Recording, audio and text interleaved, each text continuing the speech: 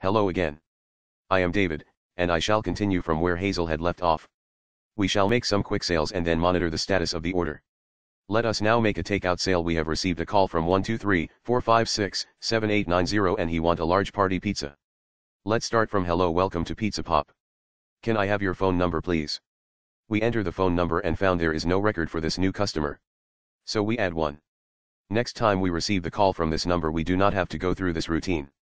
We ask his name and address and make a new entry. Once we have a customer base we can send out our promotions sales, new items added. Also we save a lot of time for getting their addresses. This allows us to have permanent customers, commercial office people who would like to order from their office and pay us by check when they are invoiced. Okay we have selected our takeout customer and am proceeding with the order. We selected party pizza menu, and then we selected party size cheese pizza. Please note if you hold your mouse over the picture you can get additional information about the item. Look out for the check mark on top right of the item block. If this shows check then it means that there are further options attached to this item. In this case all four items have tribute attached to them. Select the toppings. Mark topping here are at different pricing and fixed. They are different from general topping button which has toppings with dynamic pricing. Okay we have done the sale. Since this order came by phone we may charge it over the phone or we can take payment when he comes to pick it come. We decided the latter. In this case you need to click on order confirm this time and not pay now on the right. We shall do the payment once we deliver him the pizza. Our order has been processed and a printout has been sent to the kitchen for the cook to prepare the food. Now let us see what is going on with our order. We click on view all orders. All orders are displayed. The boxes are in different color. If they are in pink then it mean that these order are taking too much time. The running clock will let you know the time since ordered. It will show you whether the order has been prepaid. It is possible to add new items as long as the order is not closed. Orders are closed when they are paid, that is in case of table guest or they are paid and delivered for takeout orders. Please note the difference between the two. For takeout order you need to update the status to delivery or close in order to close the order. View order screen will give you similar feature. You can change the orders as long as the order is not closed. Okay the person is here to pick up his order. We make the payment.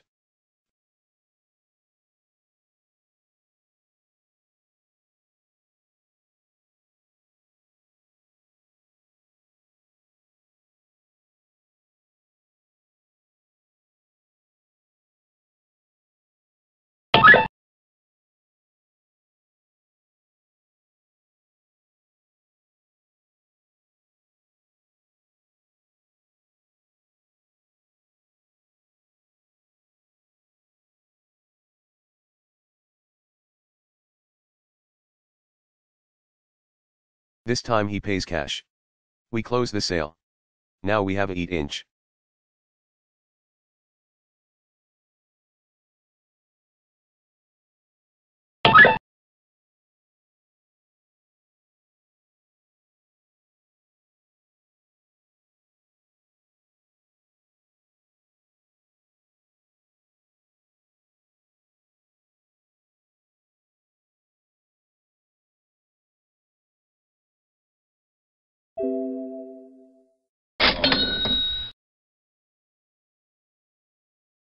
Once the guest has been seated we go through the routine of setting up the table number and the number of guests. We then proceed with the order.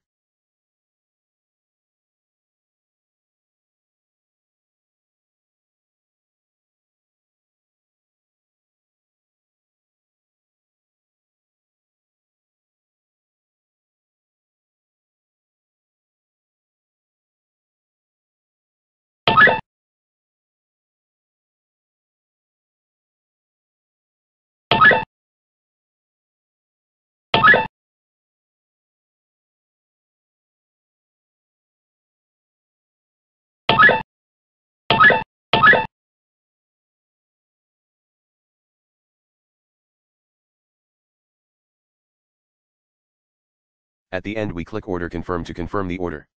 This will print the kitchen slip with the order. Now let us observe the table status. Table status will show a running clock to show how long has the customer has been accompanying that space. Okay time to pay. Note the table has turned dirty. It will remain dirty for about 2 minutes and will turn green.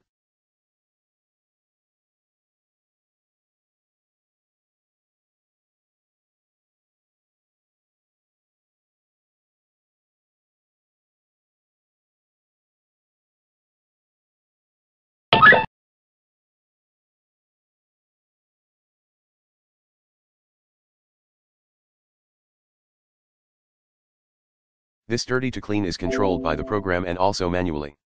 In the next tutorial we shall show how we add surcharges to an order, or hold an order for some specific time before cooking.